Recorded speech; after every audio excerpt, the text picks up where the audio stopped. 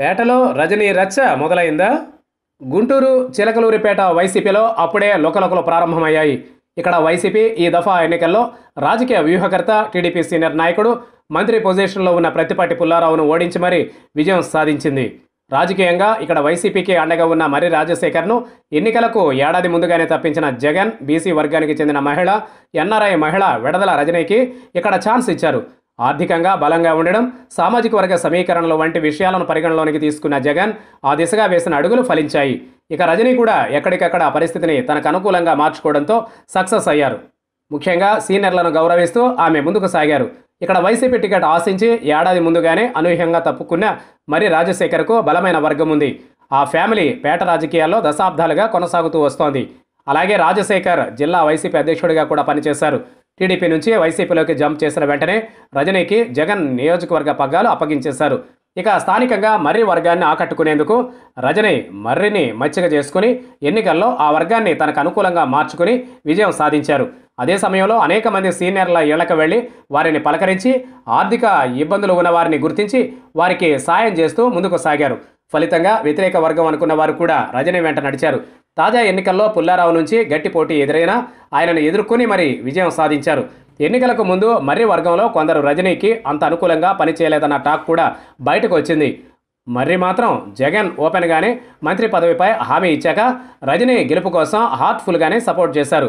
YCP అధికారంలోకి రావడం ఇటు పేటలో రజనీ గెలుపు చారిత్రాత్మకం కావడంతో సహజంగానే జగన్ హామీ మేరకు రాజశేఖర్కు మంత్రి పదవి వస్తుందని ఆయన అనుచరులు అప్పుడే సంబరాలు చేసుకుంటున్నారు. అయితే ఇక్కడే కథ ఎటు మలుపులు తిరుగుతుందో అర్థం కావడం లేదు. ఇప్పుడు రజని యూటర్న్ తీసుకున్నట్లు తెలుస్తోంది. పేటలో ఇప్పుడు ఇదే హాట్ టాపిక్. తనను ఇంతగా కష్టపడి గెలిపించిన సీనియర్లకు చుక్కలు చూపిస్తున్నారు. ముఖ్యంగా తన సీటును వదులుకుని మరీ రజనీ కోసం త్యాగం చేసిన రాజశేఖర్ను గెలిచిన తరువాత రజనీ కనీసం పట్టించుకోలేదని అంటున్నారు. రాజశేఖర్ను రజనీ మర్యాదపూర్వకంగా అయినా కలుసుకోలేదని తెలుస్తోంది.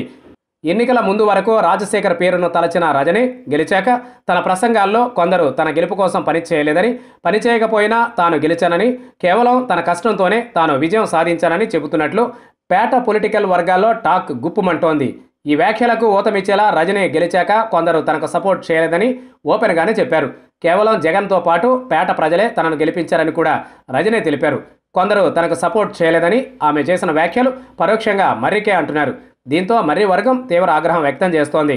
ఇదిలా ఉంటే మరోపక్క సీటు త్యాగం చేసిన మర్రి రాజశేఖర్ను బుజ్జగించేందుకు తాను అధికారంలోకి వస్తే మంత్రి పదవిని మర్రికి ఇస్తానని మాట ఇచ్చారు జగన్.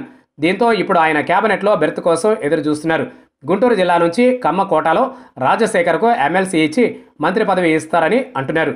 అయితే దీనిని ముందుగానే పసిగట్టిన రజని బీసీ కోటాలో మంత్రి పదవి తనకే వస్తుందని తనకు పోటీగా ఎవరూ లేరని రజని ప్రచారం ప్రారంభించేలా పావులు గదుపుతున్నారు. పేటలో ఇప్పుడు పేట చరిత్రలో తొలిసారిగా గెలిచిన బీసీ మహిళ కావడంతో తనకు మంత్రి పదవి ఇవ్వాలని డిమాండ్ చేయడంతో పాటు పార్టీ అధిష్టానానికి తనకు ఈ ఎన్నికల్లో సపోర్ట్ చేయని వారిపై కంప్లైంట్ చేసినట్లు కూడా తెలుస్తోంది. ఇప్పుడు ఇది నియోజకవర్గం వైసీపీలో నిప్పులు కురిపిస్తోంది. అమెరికా నుంచి వచ్చి సీటు గుంజుకుందే కాకుండా ఇప్పుడు మర్రి మంత్రి ఆశలపైన నీళ్ళు జల్లుతోందని మర్రి అనుచరులు ఆగ్రహం వ్యక్తం చేస్తున్నారు. మరి దీనిని జగన్ ఎలా పరిష్కరిస్తారో చూడాలి.